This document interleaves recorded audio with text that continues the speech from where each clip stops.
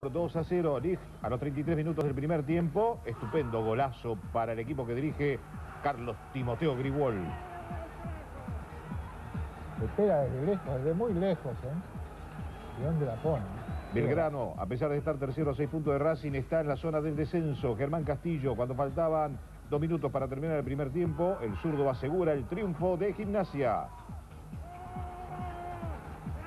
Así el Lobo le ganaba a Belgrano en la provincia de Córdoba por 2 a 0. Vélez y Lanús igualaron.